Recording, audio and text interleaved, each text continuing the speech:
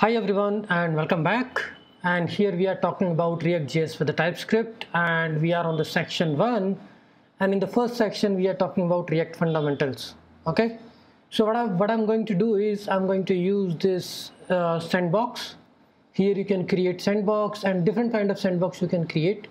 Like you can create React TypeScript, vanilla TypeScript, Vue.js application, Angular uh, basic Node.js HTTP server or you can also create a Next.js applications right? So what I did is I created a vanilla TypeScript application. This will help us to play around with the TypeScript. And we will also learn about what is TypeScript how we are using it and why we should use it. There is already a TypeScript focused course on my YouTube channel. If you want to learn more about TypeScript here we are not going to talk in depth about TypeScript because this particular course doesn't require a TypeScript expertise. You just need to know okay the basic things about TypeScript, how to use it, how to define the types, how to define the interface. All these things you just need to know, okay? And how the compilation happens when you are using TypeScript with React. Okay, so let's come to this topic you might have used Babel with the Babel RC file, Sequelize with the Sequelize RC file, all the all set of libraries always use some kind of a configurations like angular cli use angular.json right? Like .env module look for .env file. Similarly the typescript. Typescript is a superset of javascript whatever we are writing es6 es7 es8 typescript is superset is on top of everything. It is providing the type definitions for your javascript code which you cannot compile directly on the browser. First, you need to compile it with the TypeScript compiler TSC. Okay, then only you should be able to execute that code on the browser. Okay, currently we are not writing ES5, we are using ES6 features, ES7, ES8, and and further we are using those. And when we use those uh, with the TypeScript, we you need to have a TypeScript as a compiler which can compile the TypeScript code back to the ES5 so what we are doing here you can see this is just a code sandbox but when you do it simply what we do is we in the package.json we include typescript as a module and we write a npm script tsc here we include uh, I will just write it like here we can have a compile. And what we do with the compile we just execute tsc okay? What this tsc will do? Tsc will look for the TypeScript compiler okay? And in the ts config in the ts config it will look for what needs to be compiled okay?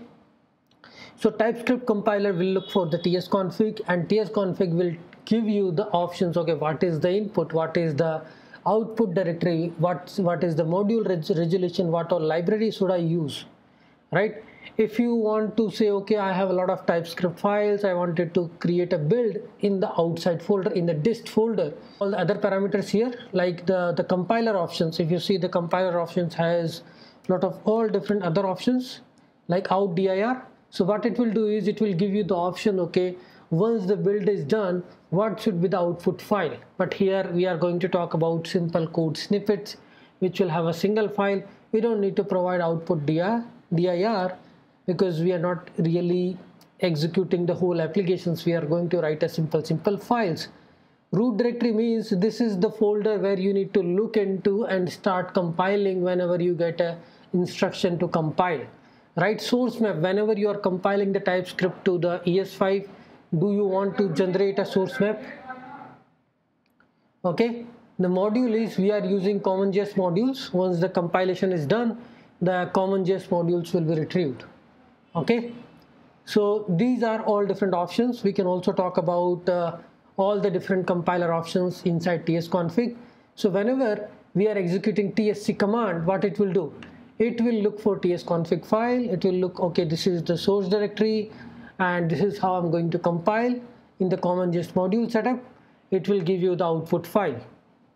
Okay here it, this is just a code sandbox what we will go do is we will play around with this index.ts file here we will write typescript code and indirectly it is getting converted and compiled we can also have the same setup but our main focus is not to do the TypeScript but use TypeScript with the React.js. Here we will just understand what is the enum, what is the, the interface, what is the types, all these things in our application which we are going to use.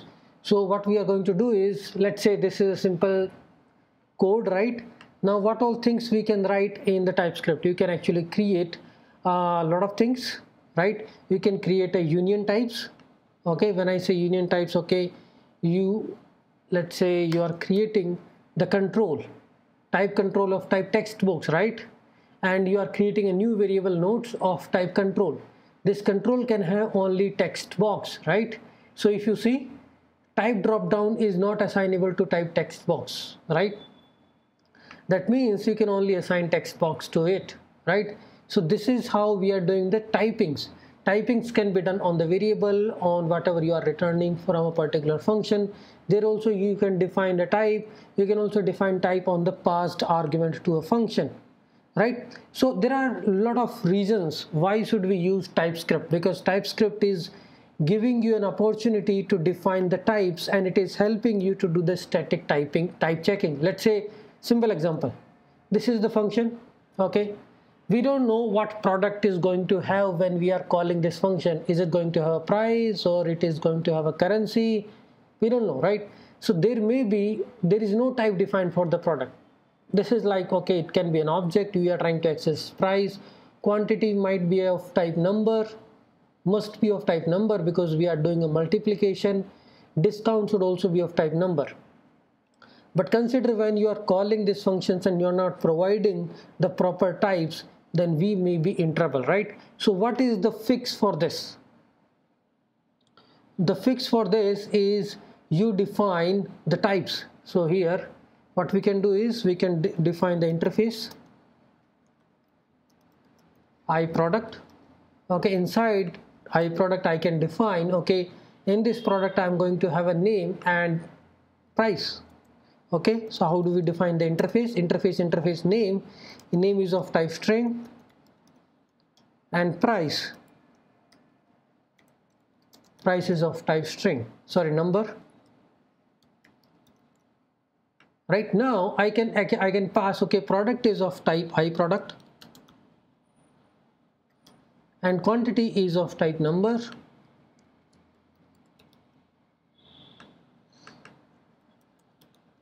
and discount is also of type number.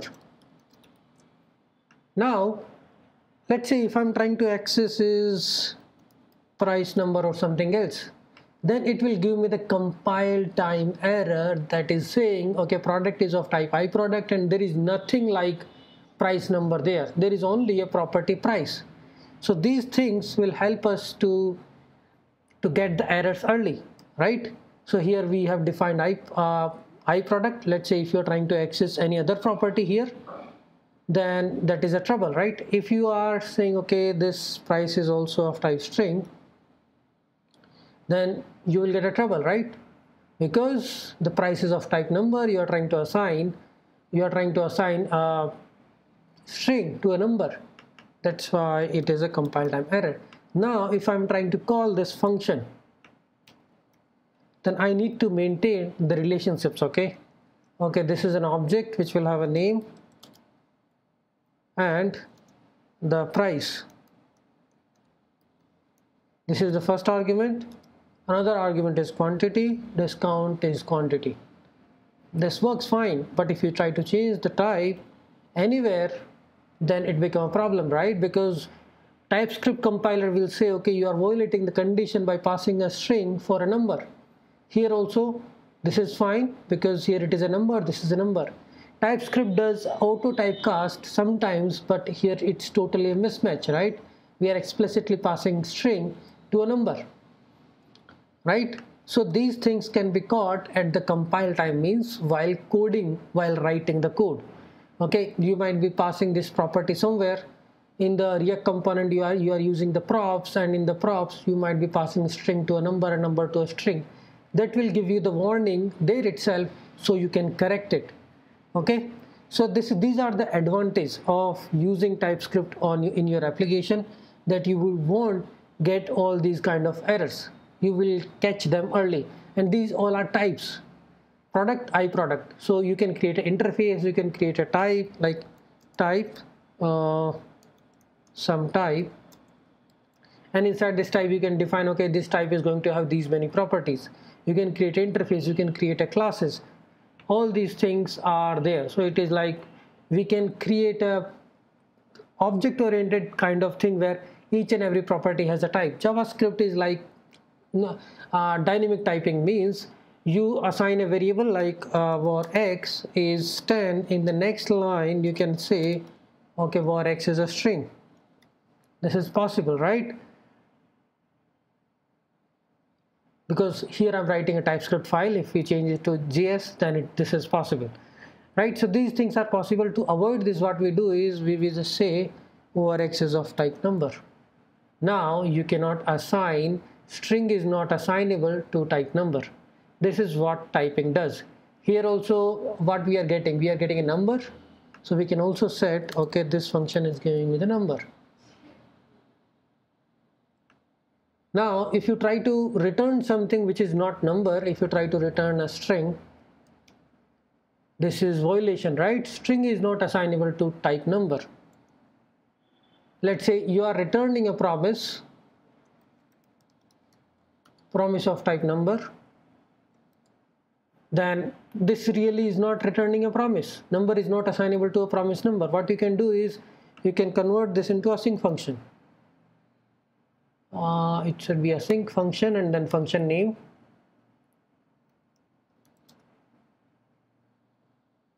This is fine. Now this function is returning a promise.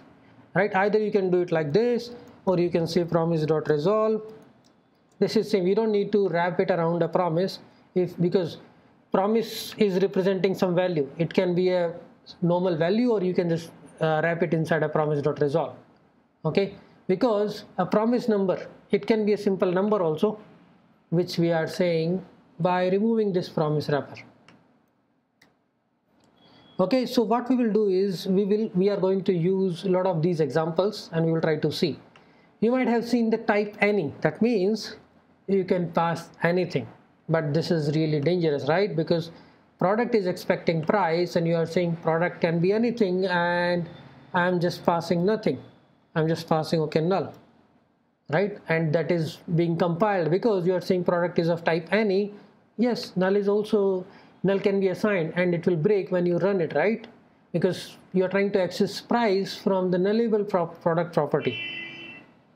So and you can also pass uh, a lot of things okay this is of type i product or it can be of another type. Let's say we are also allowing null. So you can actually do a pipe and define this can also be passed as a null or this can be passed as a product object. Okay? So we will see more examples. What are the advantages of using typescript in your code? We will see interface types guards generics modules. Okay? Some map types all these things in the coming example